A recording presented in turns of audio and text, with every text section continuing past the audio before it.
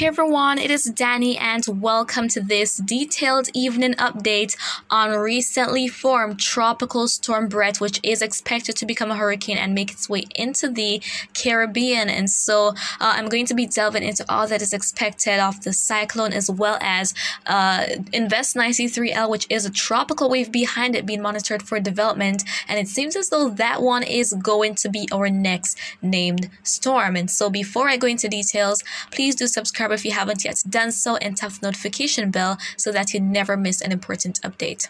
Okay guys, and so first things first though, I want to introduce you to my new channel which is Weather Extras. Now it was originally The Nature, but I changed it to be sort of an extension for Weather Girl Danny because I want to upload here on this channel twice a day. So with any major update that comes between that time frame between the morning and the evening hours, I would post to Weather Extras. So go ahead and subscribe to that channel as well so that you always stay updated. I'm going to try to produce timely updates updates as best as I can. So now let's go ahead and get into what is happening. Firstly, we're looking at the uh, what is happening right now across the Caribbean. Not going to be spending much time on this, but we see some thunderstorm activity across parts of the northern Bahamas going to South Florida, and we also see the development of some afternoon showers and thunderstorms along sections of eastern uh, Honduras going to Nicaragua, sections of Costa Rica and Panama as well. Not seeing as much convective activity compared to yesterday with that big blob in the area, and some of that activity activity is extended into parts of Jamaica,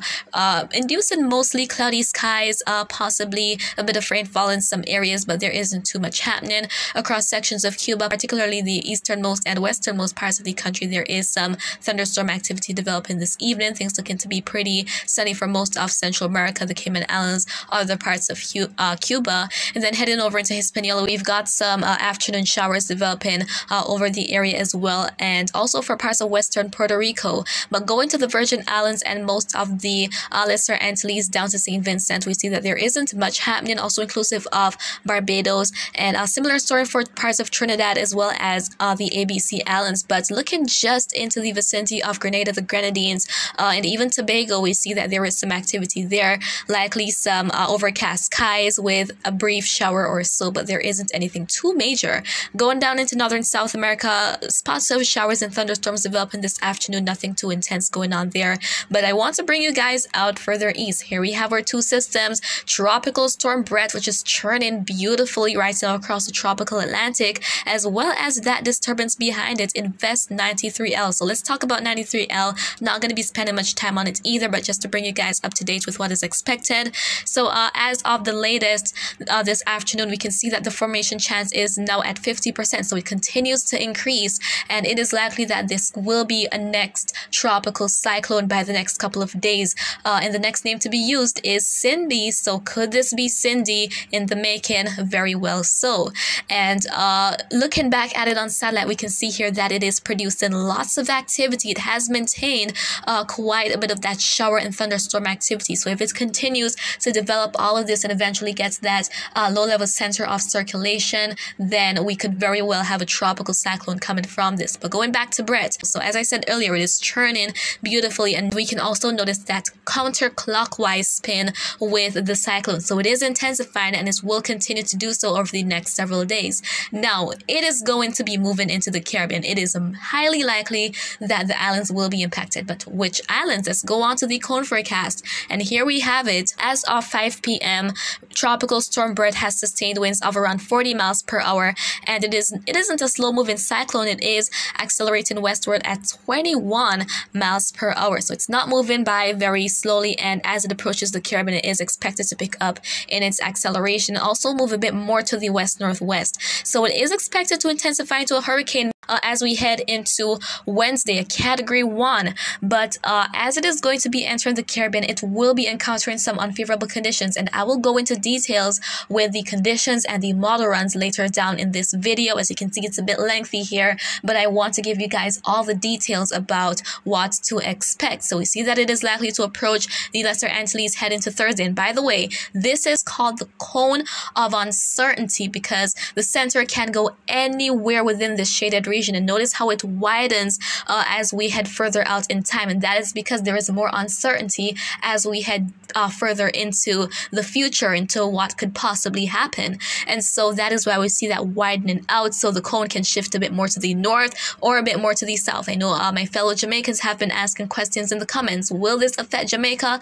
It could. As I said, the track can shift a bit more to the north or to the south. And so uh, I would say for my fellow Jamaicans, as we're going to be heading into next week, please be on watch. Of course, I'll keep you guys posted. And so uh, in terms of areas to be impacted by this, so uh, most of the Leeward Islands are likely going to be feeling impacts. Puerto Rico, Hispaniola should also be on watch for this. But in terms of potential landfall, I would say anywhere from Guadeloupe going down to uh, Dominica, Martinique, and even St. Lucia, any of those islands could experience landfall. But again, the line that we're seeing, this black line, is for the center of the system. It doesn't show the size, and so uh, this could be very extensive, and impacts can be felt even as far south as uh, even going to Trinidad and Tobago. Some of those other bands could induce some activity there, but of course, most of that, uh, the strongest of it will be around the center. All right, and so now we're moving on to what is expected in terms of the models as well as the conditions ahead of Bret. So let's go ahead and get straight on with it. Now we're going to be starting out with the GFS model. And so uh, if you're not too familiar with this, we're looking for those circular black lines. They're called isobars and they join areas of equal pressure. And so when we see them being very compact, a lot of them in a tight space with that number that you see being lower and lower, that is indicating intensification. But the wider they are uh, with those low pressure systems, the weaker the system is. So uh, let's go ahead and see what GFS has to show for, for the next couple of days. And there we have the time. So as we're going to be heading into uh, the middle of this week, GFS forecasting some intensification here, but eventually uh, showing that this is going to be making its way into the northeastern Caribbean, affecting parts of the Lesser Antilles, also uh, the Virgin Islands and Puerto Rico. So GFS is finally in agreement with what the other models were expecting because it was uh, showing some major intensification and showing the system remaining outside the Caribbean. But now we're seeing that there's a very low chance of that actually happening, and it is more than likely that this will be moving into the Caribbean. And so uh, it is also showing development of that second wave. Now, that one, uh, 93L, uh, as you would have seen earlier, it is given a medium chance to develop. And so let's go ahead and move on to the Euro model. The Euro is showing that this is going to be remaining weak, and uh, eventually Bret is going to be approaching the Caribbean, uh, maintaining that westward trap. But as I mentioned earlier, when, when we're not seeing a whole lot of those isobars being so compact, uh, that is simply indicating that this system is weak, and that is what we're seeing Euro expecting for Bret, but showing that other uh, disturbance intensifying out there. So uh, here we have Euro in agreement with the GFS in terms of it missing the Caribbean but intensifying. So that could very well be future Cindy we're looking at. And so let's move on to the icon model. Now, icon is showing this remaining weak. It has been consistent about what it's expecting. A weak storm making its way into the Caribbean. It is going to be encountering some unfavorable conditions, and eventually that activity continues to drift to the west, possibly impacting other areas such as Hispaniola and Jamaica. That other system, 93L intensifying, and another wave moving westward and getting itself together. And Icon has been pretty consistent about uh, this, and it is one of the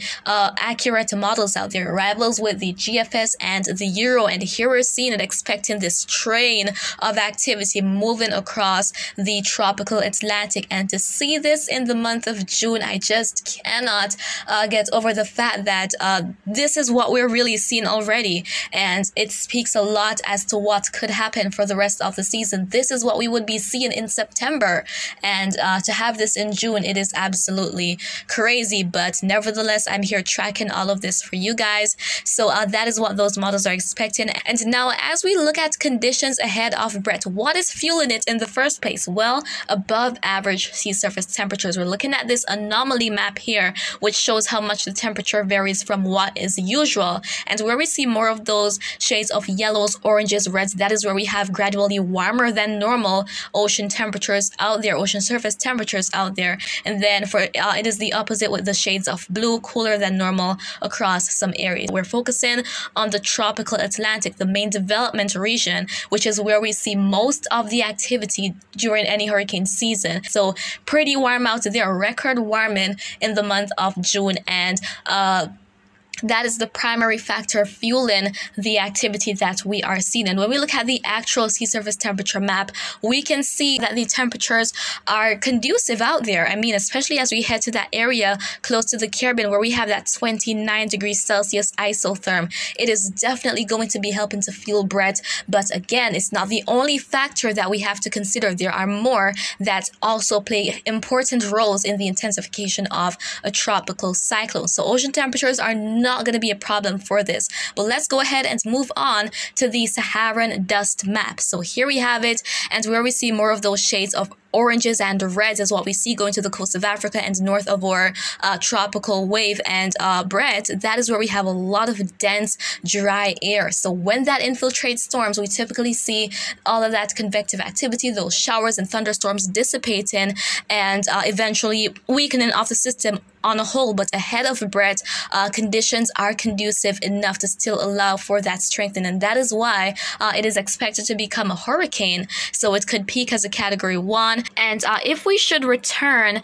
to the cone of uncertainty, we would have seen where weakening is expected because it is going to be encountering that wind shear across the northwestern, uh, northeastern Caribbean. Sorry. So uh, that is going to be uh, induced in weakening because what happens is that those stronger upper level winds, they really help to cut off thunderstorms as they develop and prevent the system from growing and intensifying, but rather inducing weakening. And that is what we're expecting to see as we go out in time here with the Euro model uh, heading to the end of this week, where we have this becoming more colorful. That is where we have more of those uh, those stronger upper level winds, and so there we have them increasing across the northeastern Caribbean to help Bret uh, to weaken, and that is some good news because we don't want a very strong hurricane uh, bringing some major impacts to these different islands. And so, guys, that is what is anticipated, and uh, this video is quite a mouthful. It's been uh, pretty long, and I don't typically make these updates this long, but I want to give you guys all all of the details uh, that you should know for this and all the potential, all the possibilities as well. So that is pretty much it for right now. Again, you can go over to my second channel for additional updates and I will start posting there tomorrow. So that is it for now, guys. And if you have any questions, feel free to leave them down in the comments. I'll try to respond as best and as soon as I can. And remember to always be weatherwise.